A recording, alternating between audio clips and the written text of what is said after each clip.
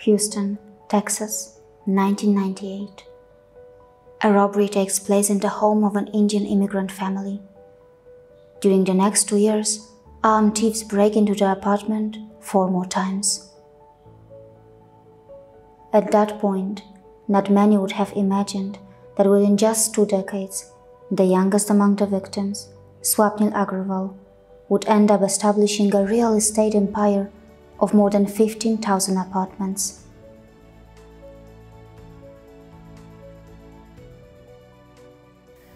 I came here to America with my parents. Uh, we our story was uh, very similar to like any immigrant family story. We grew up in you know we got situated in a very very lower uh, class apartment complex, and uh, crimes and security issues and um, they were daily occurrences. From Agra to Houston, Swapnil's journey to prosperity did not come that easy. In the USA, he had to face hardships at various stages. Uh, while growing up, while paying for my expenses, uh, I, uh, you know, I worked in a pizza shop. And working in a pizza shop, my job was to uh, deliver the, the flyers, the marketing, the advertising. And I used to go from one apartment complex to one other apartment complex and put the flyer on their door. And that's how I paid for my college. And I did that for eight years. Swapnil's brainchild, Nitya Capital, is a privately held real estate investment firm. Its primary focus is on the acquisition and management of opportunistic and value-added multifamily properties. Thank you for calling City West. This is Jessica. Can I help you? Yes, sir. Give me one moment. With assets worth more than 1.6 billion US dollars, the emergence of Swapnil's firm has baffled some of the most seasoned industry experts. Swapnil's eyes were able to see the business opportunity that was missed by many others. His company buys older, sometimes neglected apartment buildings, renovates them with a premium touch, and on top of that, provides many Class A property amenities. This results in longer term tenants, the creation of communities, and fewer repairs. On top of that, residents do not mind paying a little bit more for all the extra comfort, security, and amenities. Swapnil studied finance at the University of Texas, and at the age of 24, he had an opportunity to go to Hong Kong to work at a private equity fund. But somewhere deep down, he always wanted to be an entrepreneur. So I came back and I said, finally, after working for 10 years in corporate America, I want to start my own business. And I took a risk, and my wife, Deepika, supported me a lot she said, okay, take the risk. And we started, we bought a small apartment complex in Houston. That was in August 2013.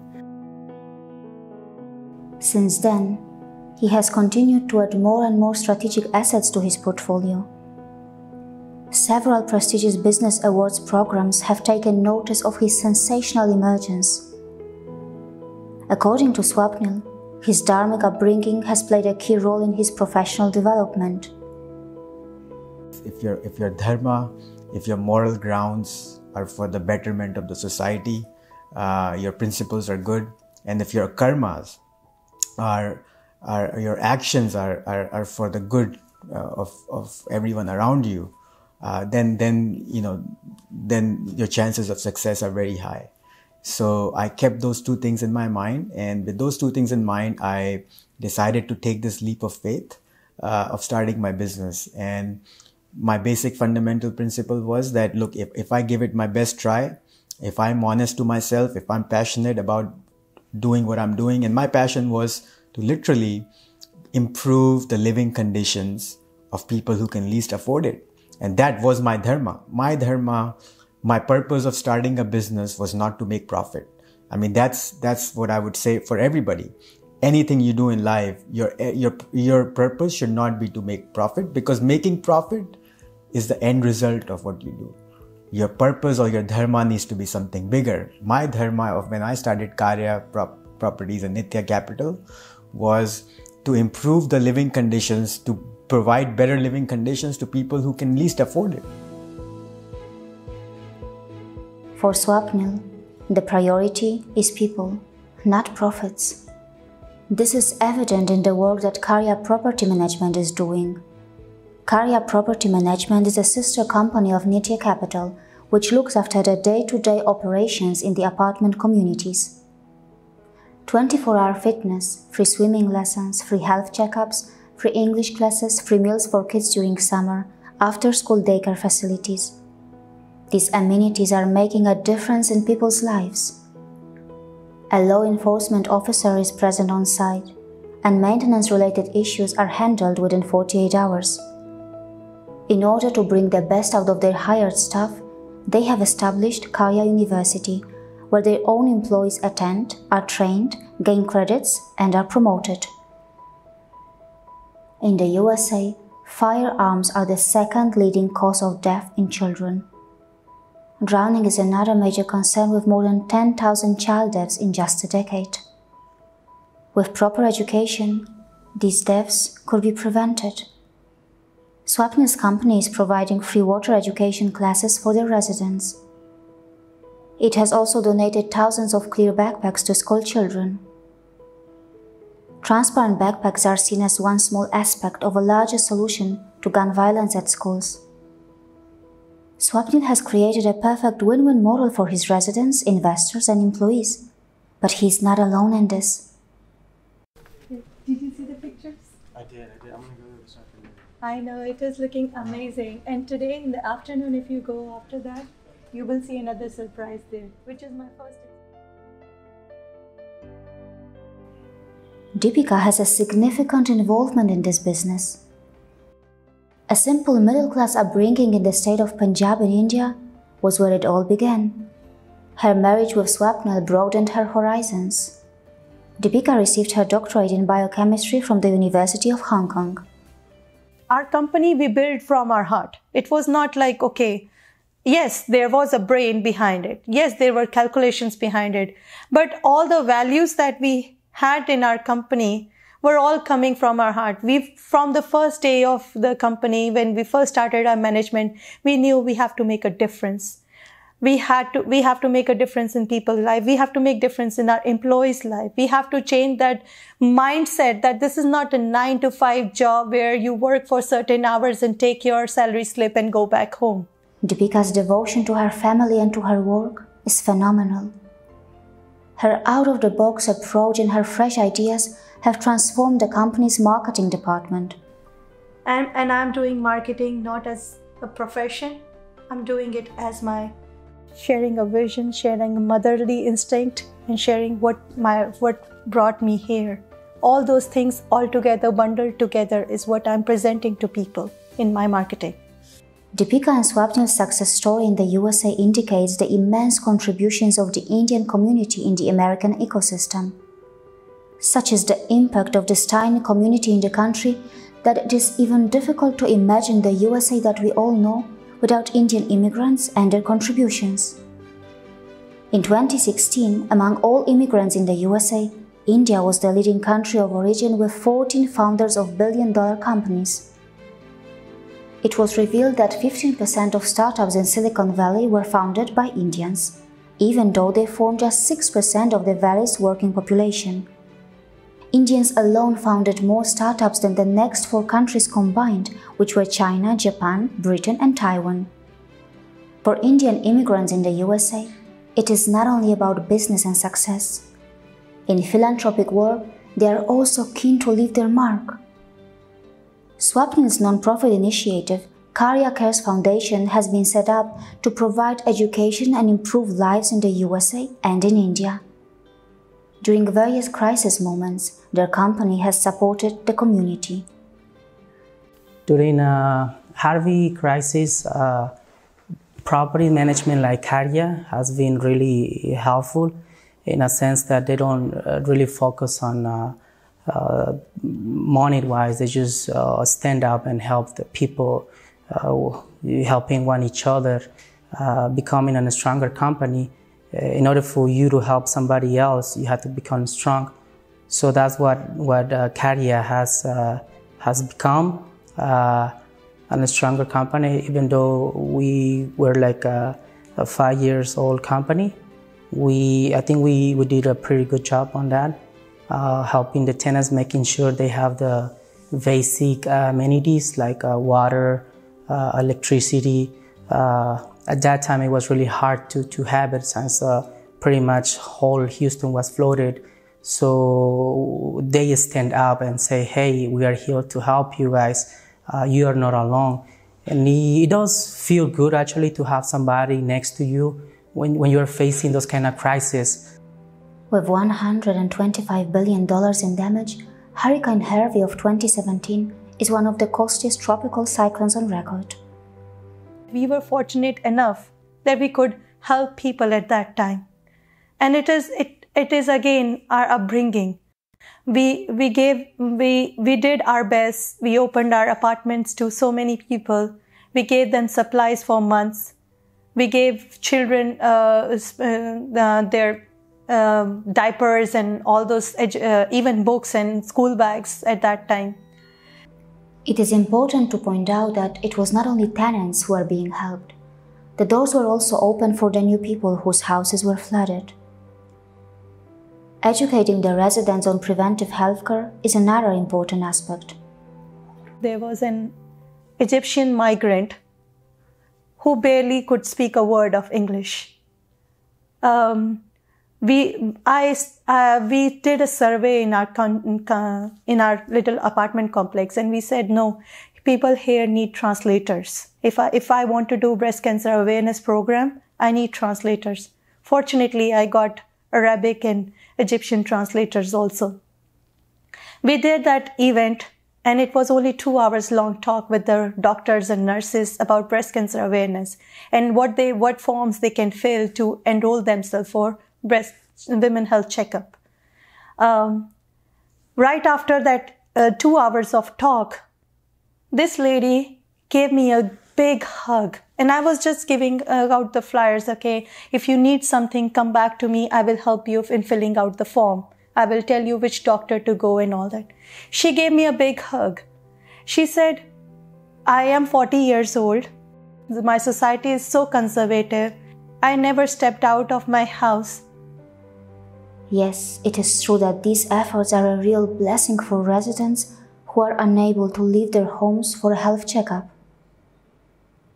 Benefits are not limited to residents. Even employees have access to many unique opportunities. So Karya Care is the giving part of Karya and all our employees will be given training and prof- professionally if they want some professional diplomas or trainings and if they want higher education if they want to complete their degrees we will help them we will assist their uh, in their fees uh, we will also initiate and give some scholarships. We are already giving scholarships to in high school students uh, for high school students. I, I, think I'm giving back for selfish reasons. Uh, I would like to say that you know, giving back is uh, is great. That you know you feel fulfilled. But yes, I feel fulfilled. But I think the reason I fulfilled is when I give somebody something, I feel happy inside so I'm giving back to society for my personal selfish happiness. Uh, and what I've also realized is the more I give, the more God gives me back. So it's again selfish reasons for me that if I give more, I'm going to get more back. Those are my reasons, and I, I truly believe in it. India's rich culture and its spiritual foundational wisdom are its most important assets. It is the land which has given birth to pro-environment ancient traditions like aparigraha. In America, Swapnil and his wife live an extravagant lifestyle. Should we sense a contradiction? We, we take care of our employees, our residents. You know, we provide free English classes. We give free meals to every kid in our community, uh, free swimming classes, free health checkups with the top doctors of town. So we are really doing a lot to give back to the community. But at the same time, if I'm working so hard, I'm taking care of everybody, I need to have motivation in my personal life also. uh, to why am I doing this? Yeah, sure, I like to give back to communities, to society in India, in America, truly take, take care of everybody as a family. But in, for me, I like to wear nice clothes. I like to drive nice cars. I like to live in a nice house. But that's not uh, to show off to anyone. That's for my personal satisfaction because growing up, I could not afford any of it. For the first eight years in America, I used to take number two metro bus I had the picture of that bus I used to take every day. I couldn't afford to buy a car. I still have it in my office.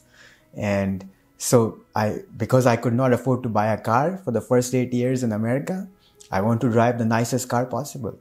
You know, I lived in a very, very humble, uh, you know, one bedroom apartment with very poor living conditions. So I want to live in a house that's, that's nice so I can provide for my family. You know, I want to travel in business class because I till age 15, I did not even travel in an airplane.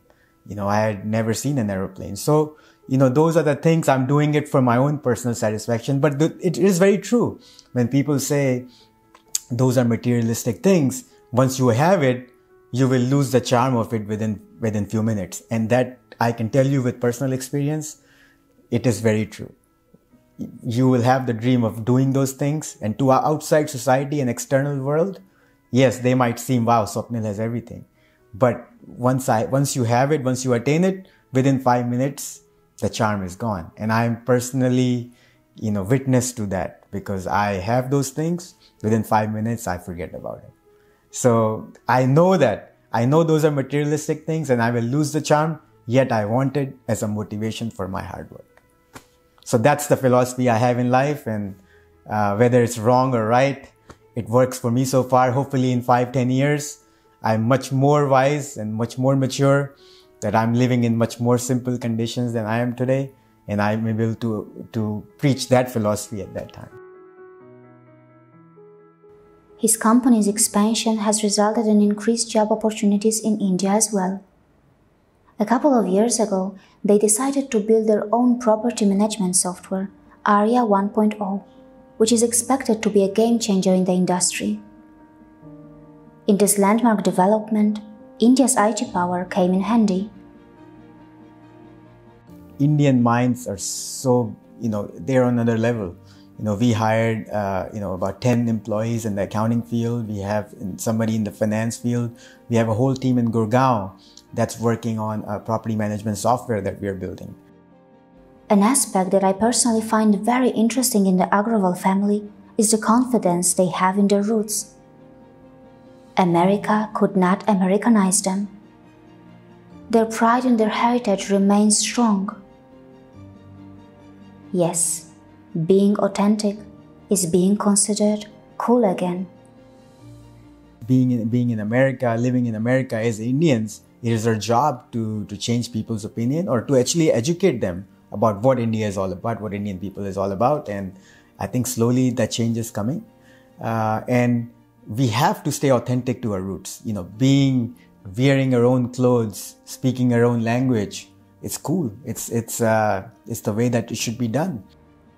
A responsible father at home and a successful businessman, Swapnil has won many hearts during his journey.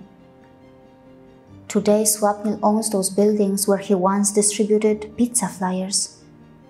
For someone like myself, who is an immigrant to this country, uh, that we employ over 500 Americans in our company today. And uh, at this young age, uh, I feel very fortunate that I, that God has given me this platform to be able to give back to the community. Uh, you know, I, there was a time where uh, it was difficult for me to find a job here in this country. I came as a 15 year old. My first job was to pass out pizza flyers. I couldn't get a job anywhere else. And now it feels amazing that we have over 530 employees that are in construction, property management, engineers, financial analysts, asset managers, accounting, marketing. I mean, you name the field. We have, we have 10 different divisions that employ so many people here. The legacy will be passed on to their young son, who is already showing great signs of maturity at such a young age. I want to give him roots and wings. I want to give him roots from India and wings from land of opportunity that is America. Because if he stays with his roots, wherever he will go, he will always know where to come back. Deepika may have left India, but India has not left her.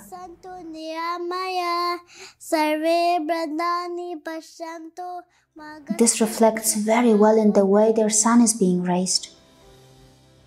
Their American home has Indian vibrations.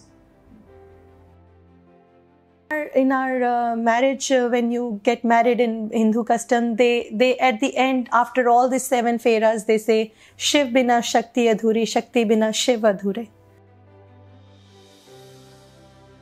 I want to make a big difference uh, to not only the society here, but in India as well. Uh, and I think now going forward, you know, this is again still a very, uh, it's a, still a journey that has just started. I'm still relatively quite young.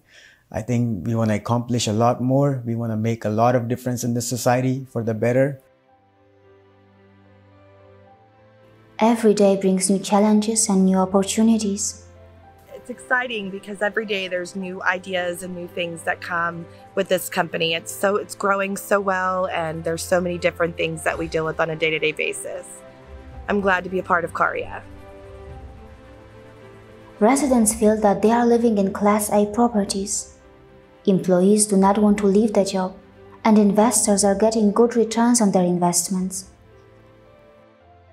My engagement with Swapnil and his family has made one thing patently clear. If you want to earn respect from others, start respecting your identity and your heritage first. Swapnil Agarwal has generated employment in the USA and in India. He has generated a lot of goodwill and he has successfully created communities at his properties, the traditional Indian way, but with an American touch. Swapnil is a walking testimony of a success story. He has provided the community with everything that he did not have while living and growing up in the USA. Yes, good intentions can also bring good profits.